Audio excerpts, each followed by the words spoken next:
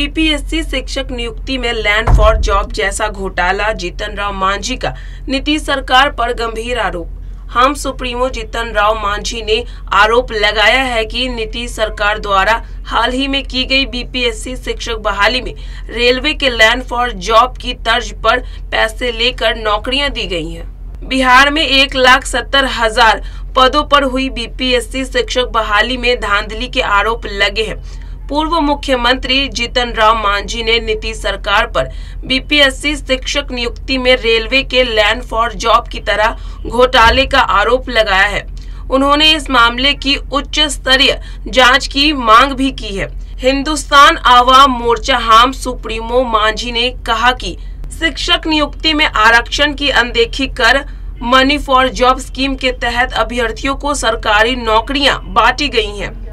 पूर्व सीएम जीतन राव मांझी ने मंगलवार को ट्वीट कर नीतीश सरकार की बीपीएससी शिक्षक बहाली में घोटाले के आरोप लगाए हैं। उन्होंने कहा कि बीपीएससी शिक्षक नियुक्ति मामले की उच्च स्तरीय जाँच की आवश्यकता है।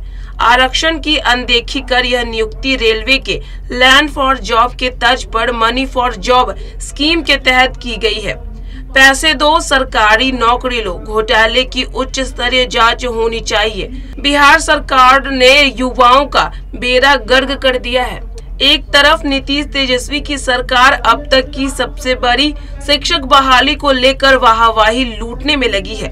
तो दूसरी तरफ़ विपक्ष ने घोटाले का आरोप लगाकर बिहार का सियासी पारा गर्म कर दिया है।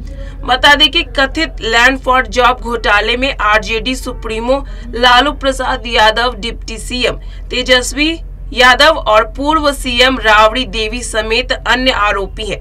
सीबीआई इसकी जाँच कर रही है और आरोप है कि लालू यादव के रेल मंत्री रहते हुए रेलवे में ज़मीन के बदले नौकरियाँ बांटी गई थी बिहार लोक सेवा आयोग बीपीएससी ने शिक्षकों के करीब एक लाख सत्तर हज़ार पदों पर भर्ती की है। भर्ती परीक्षा का रिज़ल्ट आ चुका है और इस परीक्षा में केवल एक लाख बाईस हज़ार अभ्यर्थी ही सफल हुए हैं। बचे हुए पदों को आगामी भर्ती में जोड़ा जाएगा। चयनित अभ्यर्थियों की काउंसिलिंग प्रक्रिया जारी है। अगले महीने उन्हें ज्वाइनिंग दे दी जाएगी। मुख्यमंत्री नीतीश कुमार 2 नवंबर को पटना के गांधी मैदान में नव नियुक्ति शिक्षकों को नियुक्ति पत्र बांटेंगे। बिहार सरकार ने इस आयोजन की तैयारी भी शुरू कर दी है। Bureau report Deshwa news.